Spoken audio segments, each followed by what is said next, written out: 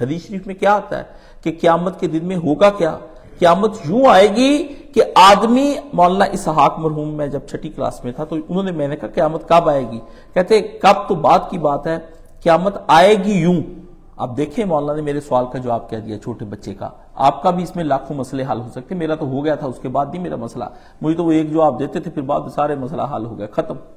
मैंने कहा, क्यामत कब आएगी? कहा, क्यामत को छोड़ो। क्यामत आएगी, कैसे वो सुन लो मुझसे। इस तरह होगा कि आदमी पैसे दे रहा होगा और थाम कपड़े का वसूल कर रहा होगा। आदमी अपने जानवर को ले जाके हौज पर पानी पिला रहा होगा और जानवर पी रहा होगा और वो खड़ा तक रहा होगा। साइकिल चलाने वाला साइकिल चला रहा होगा और गाड़ी वाला कागान जा रहा होगा। हा?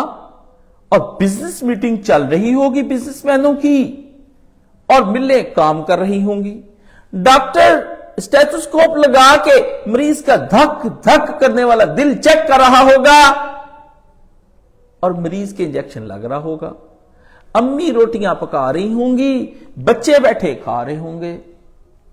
हाँ जी, मर्द तैयारी कर रहा होगा जाने की, और नौकर साहब की गाड़ी निकाल रहा होगा। हल चल रहा होगा और मोटर चला के टैंकी पानी की भर रही होगी। सारे तैयार होके एक फ़ंक्शन पर जाने का, पर जा रहे होंगे और उधर दुल्हन तैयार हो रही होगी और दुल्हा बरात ला रहा होगा। मार्की में प्रोग्राम चल रहा होगा। जश्न हो रहे होंगे।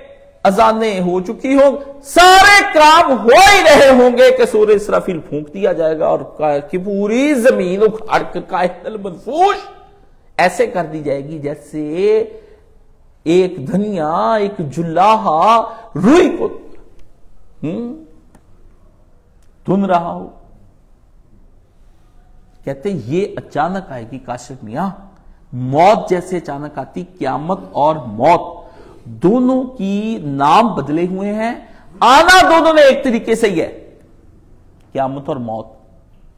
मौत का नाम क्यामत और क्यामत का नाम मौत।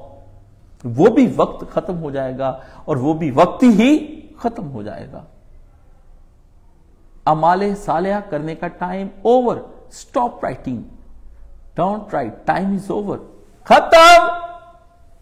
आप निकल जाएँगे। कहते मियाँ, इस तरह आएगी इस तरह के अचानक कामों को करते हुए गुनाह के करने की बजाय नेकी करते रहना, ताकि किसी ना किसी वक्त में अगर मौत आ भी ले तो नेकी में ही आ जाए।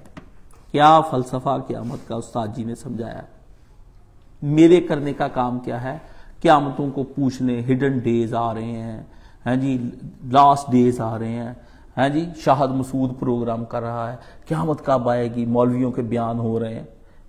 इस ये वो गैर हकीम बयान है। ये हिकमत का वाला जवाब था जो उस्ताद ने मुझे दिया। ऐसे ही उस्ताद पर मैं फरेफ्ता नहीं हुआ था।